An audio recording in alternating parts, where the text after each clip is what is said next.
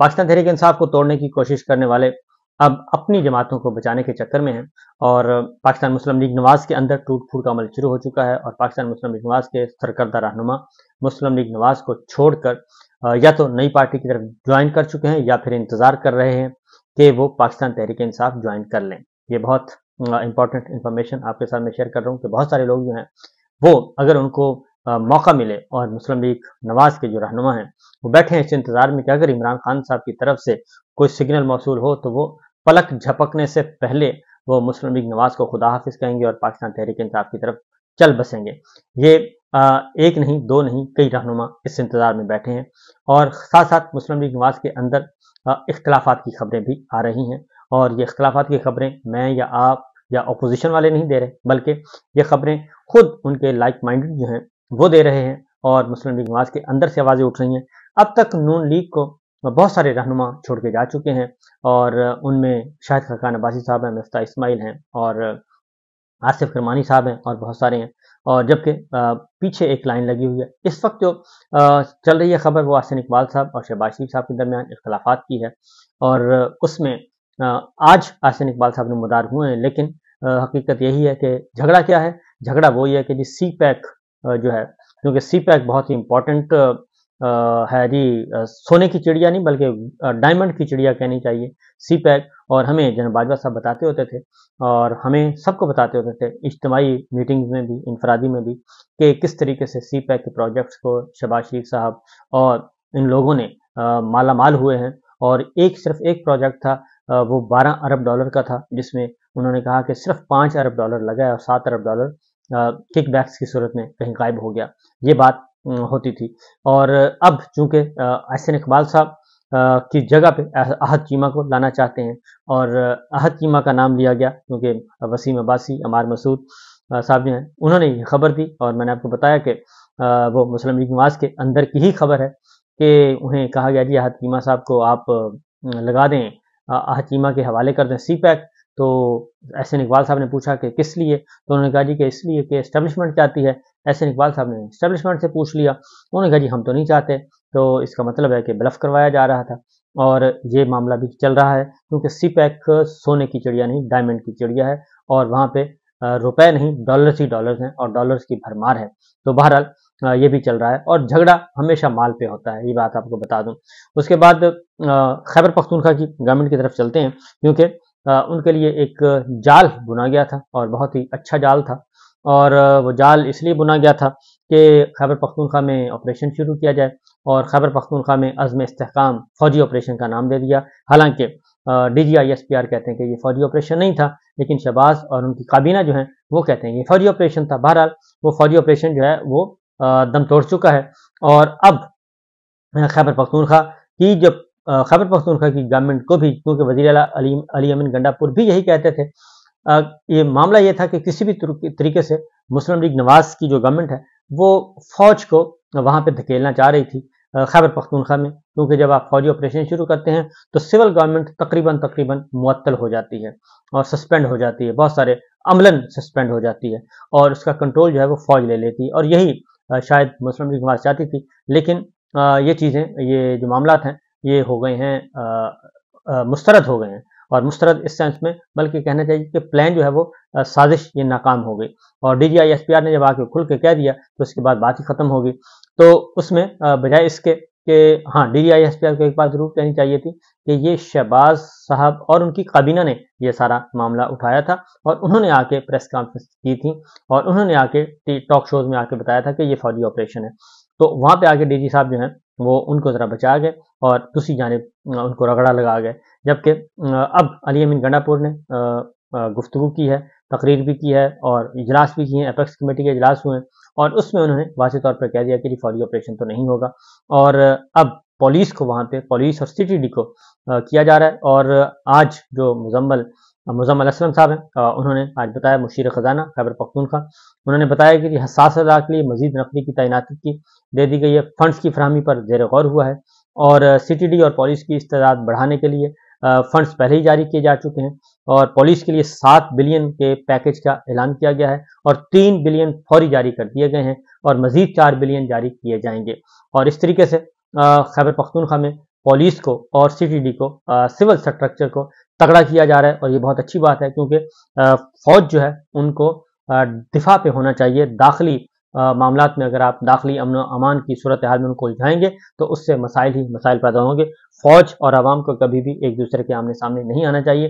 فوج کو ہمیشہ سرحدوں پہ دشمن کا سامنا کرنا چاہیے تاکہ ان کا، ان کے ساتھ وہ اچھی طریقے سے نبردازمہ ہو سکیں آج خیبر پختونخوا کے وزیر اعلیٰ نے کل ایک انہوں نے تقریر کی اور انہوں نے کہا کہ جی فوجی آپریشن نام کی کوئی چیز نہیں ہوگی، بلکہ جو کچھ ہوگا خیبر پختونخوا کی گورنمنٹ کرے گی پولیس کرے گی سی ٹی ڈی کرے گی سول ادارے کریں گے اور ہم فوج کو ان معاملات میں نہیں الجھائیں گے۔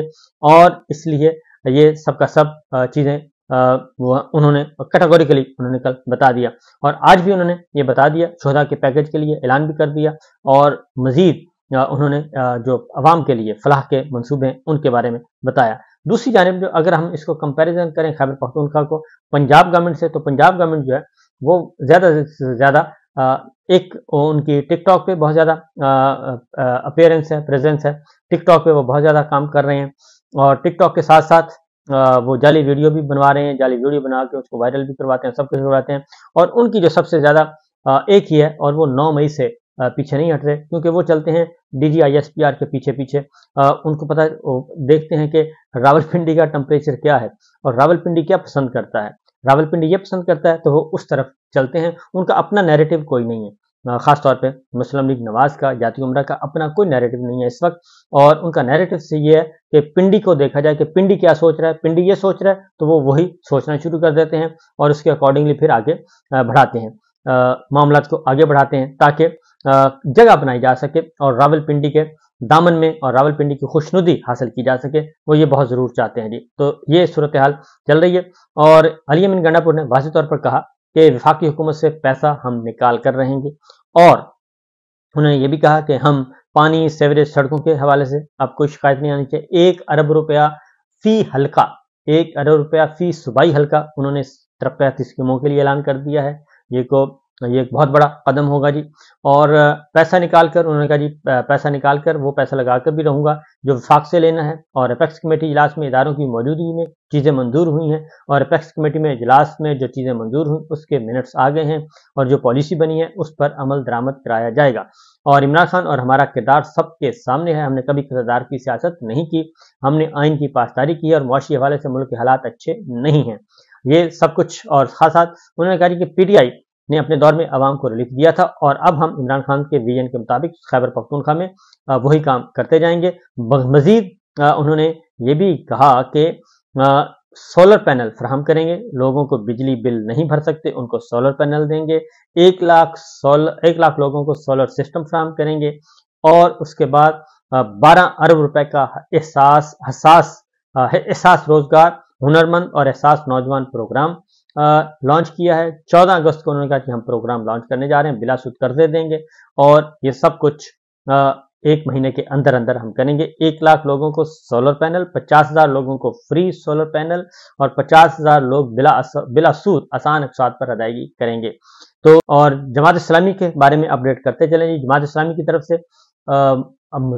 دھرنا جو ہے وہ چل رہا ہے اور پہلا دن ہے اور وہ امیر جماعت اسلامی حافظ نعیم الرحمان صاحب نے یہ اعلان کیا ہے کہ ہم دھرنا اس کو طویل کریں گے اور جب تک ہمارے مذاکرات پورے نہیں ہوں گے، یہ دھرنا طویل بھی ہوگا اور اس کے اس کی، اس اس میں اضافہ بھی ہوگا اور مزید کارکنان بھی آئیں گے اور اس کو ہم بڑھاتے جائیں گے اور اس کو ہم مطالبات کے پورے ہونے تک ختم نہیں کریں گے اور پنجاب اسلام آباد کی جو گورنمنٹ ہے جی انہوں نے کچھ کیا ہے معاملات اور انہوں نے پیغام بھیجا تھا اور اس دھرنے کو ختم کرنے کی بات کی تھی، لیکن دھرنا ختم نہیں ہو رہا، بلکہ دس مطالبات جو ہیں وہ جماعت اسلامی نے رکھ دیے ہیں اور ان مطالبات کو اگر ہم دیکھیں تو اس میں کافی عوامی نوعیت کے مطالبات ہیں۔ دس مطالبات رکھے گئے ہیں جی۔ پہلا مطالبہ ہے کہ بجلی بل میں پانچ سو یونٹ تک ماہانہ استعمال کرنے والے صارفین کو پچاس فیصد رعایت دی جائے اور اس کے ساتھ ساتھ پیٹرولیم پیٹرولیم ڈیولپمنٹ لیوی ختم کی جائے اور پیٹرولیم مصنوعات کی قیمتوں میں اضافہ واپس کیا جائے، اشیاء ضروریات کی قیمتوں میں بیس فیصد کمی لائی جائے اسٹیشنری آئٹم سمیت بچوں کی تعلیم و تربیت سے متعلق تمام آئٹم پر ٹیکس واپس لیا جائے اور اشرافیہ کی عیاشیاں عوام کے لیے ناقابل برداشت، غیر ترقیاتی اخراجات پر پینتیس فیصد کٹ لگایا جائے اور آئی پی پیز کے ساتھ کیپیسٹی پیمنٹ اور ڈالر میں ادائیگی کا معاہدہ ختم کیا جائے۔ یہ سب سے امپورٹنٹ ہے جی۔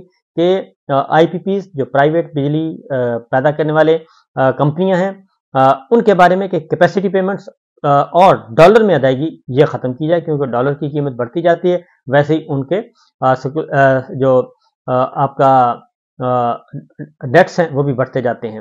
اور اس کے ساتھ ہی زراعت اور صنعت پر ٹیکسوں کا نجائز ناقابل برداشت بوجھ پچاس فیصد کم کیا جائے۔ صنعت، تجارت، اور سرمایہ کاری کو یقینی بنایا جائے۔ اور ورنہ انہوں نے کہا جی کہ معاشی پہیا چلے ورنہ پھر یہ حالات اسی طرح خراب سے خراب تر ہوتے جائیں گے۔ غریب تنخواہ دار طبقہ ٹیکسوں کا ظالمانہ بوجھ واپس لیا جائے۔